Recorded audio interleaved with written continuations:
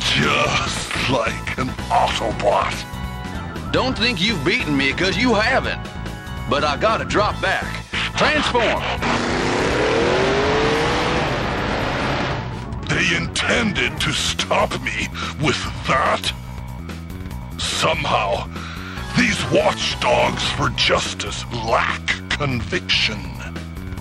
I want this generating plant sucked dry. It shall be the fuel that sends the Decepticons to the domination of the universe.